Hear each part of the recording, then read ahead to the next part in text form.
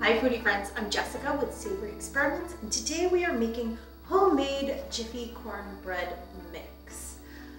Yep, I know exactly what you're thinking.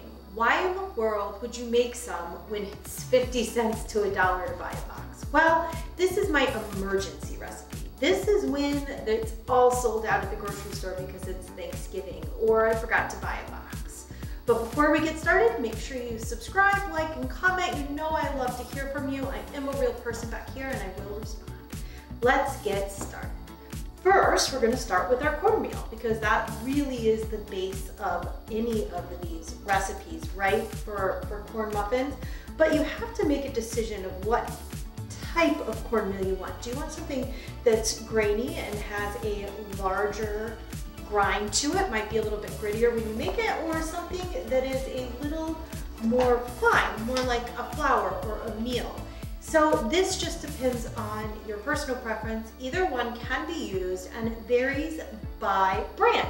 So House of Autry has more of a fine texture like a flour versus, which one is this one? Uh, just Quaker. This one's a little, ooh, little bit coarser, making music.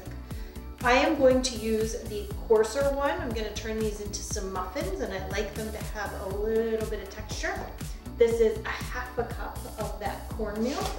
The base of this is also flour. So it's a misconception that because this is corn muffins and corn mix that it is gluten-free. It is not naturally gluten-free. It can be gluten-free if you want it to be if you use a gluten-free flour, just a one-to-one -one ratio mix. And we are going to do two thirds cup flour. I'm doing what I tell everybody not to do, and that's to scoop. So I'm doing it very lightly and very kindly. Don't tell anybody. Okay, next is sugar. Sugar helps balance it all out and caramelizes all of that corn while it's baking, regardless of what you're gonna put it in.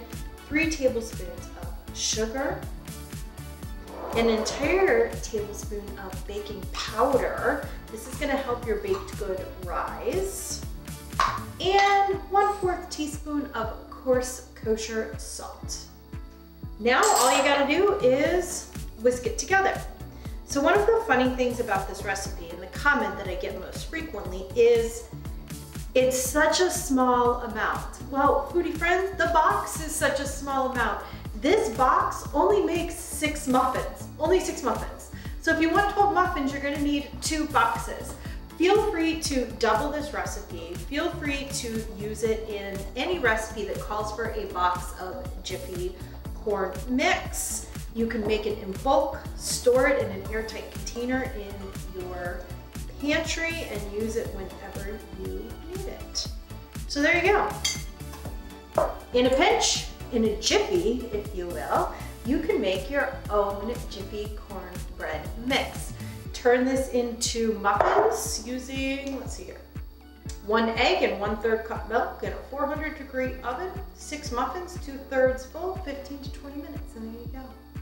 From my kitchen to yours, I hope I saved the day with this recipe, and I'll see you next time.